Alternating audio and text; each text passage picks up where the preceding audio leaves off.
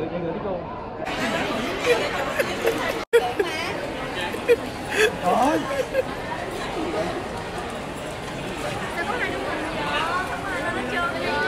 Mang theo tặng một người bạn. Tại em lỡ hứa là hôm nay khi đến ờ, họp báo của em em sẽ cho ăn. Ăn à, Bạn đó thích ăn trứng cút mà nhà em không có trứng cút, chỉ có trứng gà thôi. Em lục mang theo cho bạn đó, bạn đó tên là Tí Cu. lầy như vậy sao em em không có lầy nghĩa là em lỡ hứa là có đồ ăn rồi thì em sẽ đem thôi. Chứ không phải lầy đâu. Chia sẻ cảm xúc ngày hôm nay đi. Hôm nay em rất là hạnh phúc tại vì là ờ, có các bạn trong đồng nghiệp và các bạn bè ngoài đời của em rồi fan rồi rất là nhiều người đến đây. Em bị một cái tật là khi mà họp báo của các bạn đồng nghiệp á em luôn luôn có lý do để vắng mặt.